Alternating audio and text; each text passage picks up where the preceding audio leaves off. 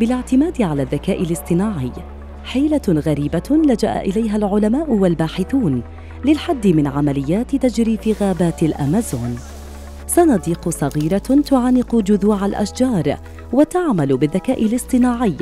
هي السلاح الأخير الذي اتبعه العلماء والمدافعون عن البيئة في ولاية أمازوناس الشمالية في البرازيل.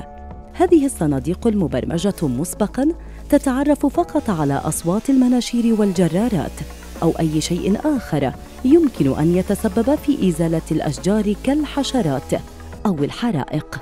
وترسل إشارات لاسلكية للتحذير من وجود خطر في الوقت الفعلي للتهديد على عكس البيانات الواردة من الأقمار الصناعية التي لا تكشف عن إزالة الغابات إلا بعد حدوث الضرر. بعد ورود تفاصيل التهديد وموقعه داخل الغابة تتوجه الفرق المدربة فوراً إلى حيث يقع وتعمل على منع قطع الأشجار أو احتراقها هل تعتقدون أن بإمكان الذكاء الاصطناعي إنقاذ غابات الأمازون؟